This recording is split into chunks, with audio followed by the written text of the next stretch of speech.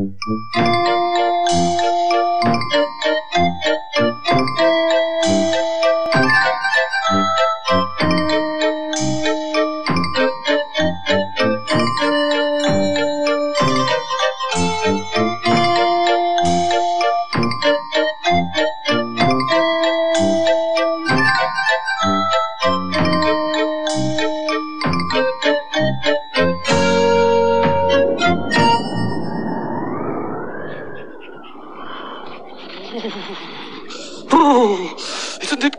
cold? I've got something that'll keep you warm. Hmm? Yeah, What is it? I made this just for you. Oh, Aunt Flo, thank you very much. It... What is it? Can't you guess what it is? Uh, is it a mitten? No, well, it could be, but there isn't a place for your thumb, is there? No, try again. Uh, uh, it's a scarf. it's a scarf. No, of course Oh, it's no, not. of course it's not Now, does it look like a scarf, magician?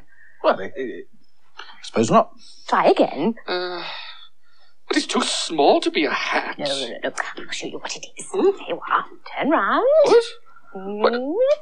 Oh! It's a tail warmer. Oh, that's lovely. This will keep me lovely and warm in the cold. Oh, I wish I had a tail warmer. Well, I'll knit you one if you like. But I don't think it'd be much use to you. Because you haven't got a tail, you see. True.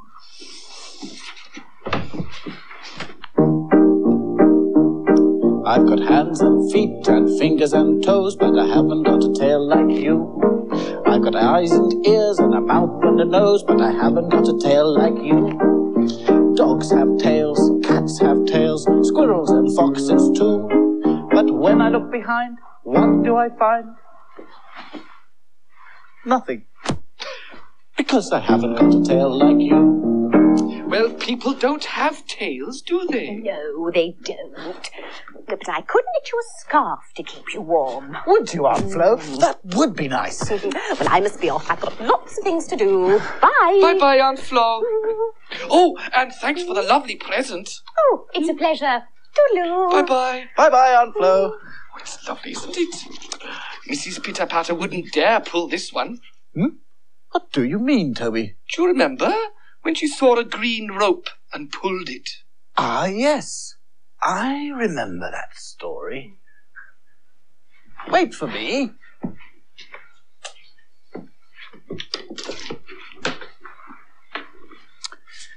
Good.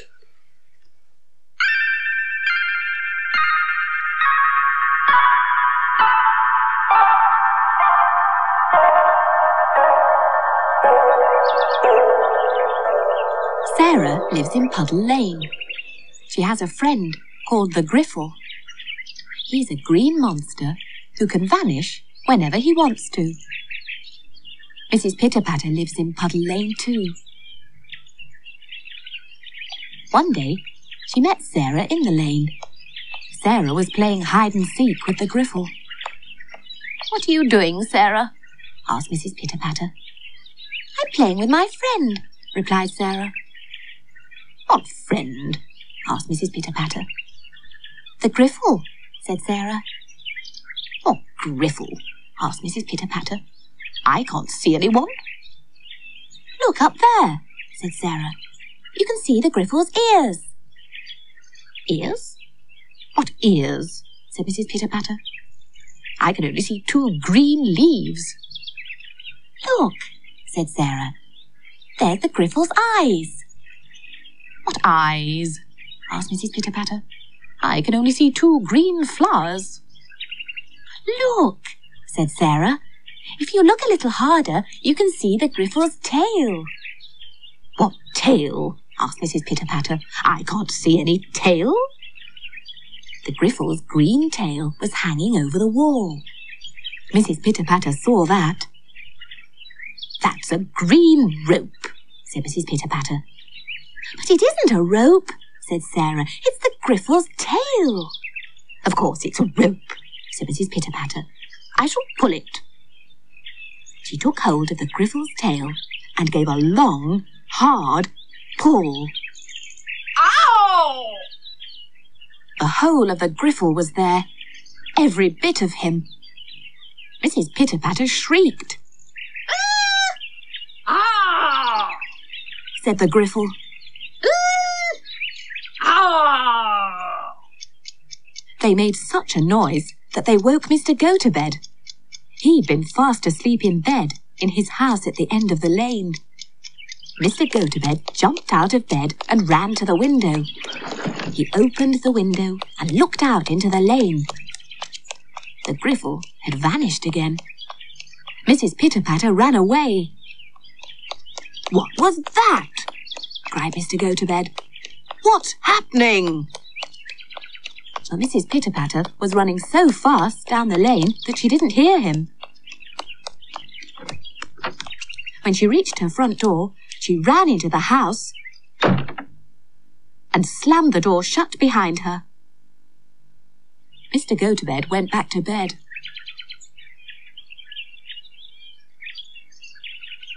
Sarah saw two green ears poking up over the wall. Has she gone? whispered the Griffle. Yes, she's gone, said Sarah. Come back and play. She won't hurt you again. But the Griffle replied, Uh, I think I'll come back another day, Sarah, when she isn't about. Goodbye, said Sarah, and went home for tea.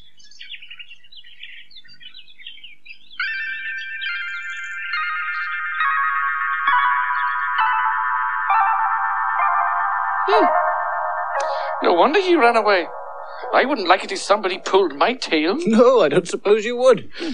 Very well. Pencils and paper, pens and ink. The words shall appear before you can blink. Will you help me check it? Hmm. Of course. Now then, Sarah was playing hide and seek with the Griffle, but he wasn't easy to catch. I'm not surprised.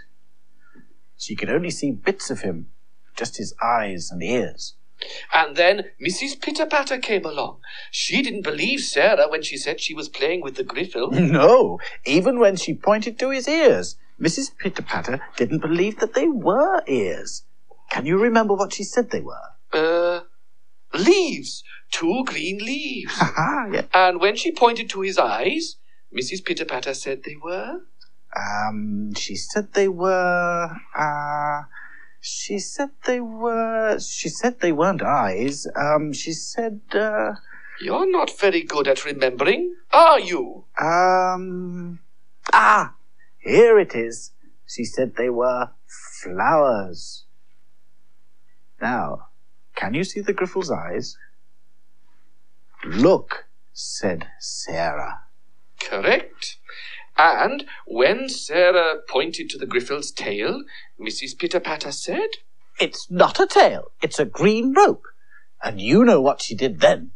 Yes, she pulled it.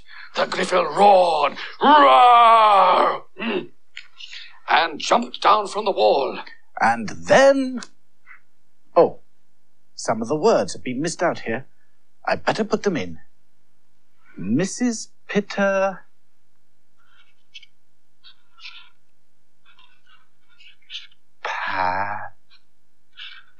Patter.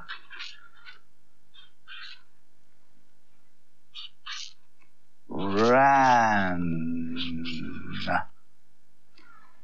Mrs. Pitter Patter ran. What a shock she must have had, poor Mrs. Pitter Patter. Poor Mrs. Pitter Patter. Poor Griffle. Hmm. What's the story called? It's called The Tale of a Tail. But I don't understand. You said that was a tail, and that was a tail. But they don't look the same. No, they both sound the same, but they're two different words. Oh. Tale like this means a story, and tail like that, well, it means this kind of tail. Oh, I see. Tail and tail. One tale means a story, and the other tail means something you can wag. Ooh. That's right. You've got lots of story tales in that book. Why do you want a tail like mine? Hmm, I just thought it would be interesting, that's all. I wonder. I wonder if I couldn't magic myself a tail just for a little while. Oh, yes, do! All right, I'll try it.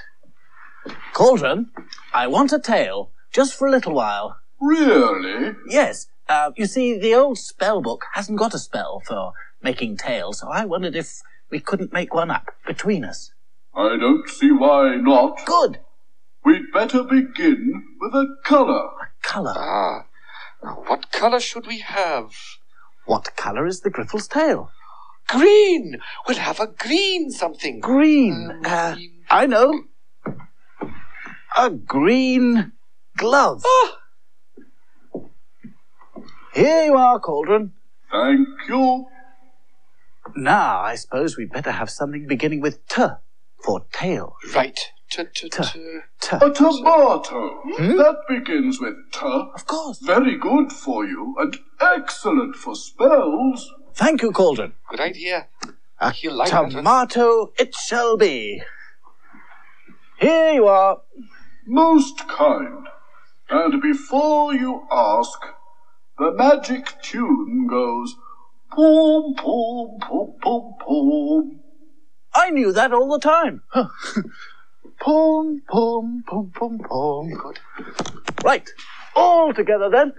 Boom, boom, boom, boom, boom. And now the magic clap. And now the magic rhyme. Puddle, muddle, muddle, puddle, glove, tomato, do not fail. Muddle, puddle, puddle, muddle, a click of the fingers, and here's my tail. Huh?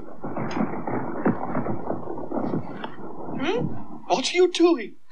I'm looking for my tail. Ha! I know what's happened. The cauldron thought you meant a story kind of tale. Of course, he'd look pretty silly with the other sort of tail, wouldn't he? Yes, yes. I think he probably would. Hmm. Oh, I suppose you're both probably right. But it would have been fun to have had a tail for a while. Never mind. You can have just as much fun with those tales. Hmm. I suppose you're right. Come on. Let's have a look at another one. Have fun with these tales. Maybe there's one about a magician having his beard pulled.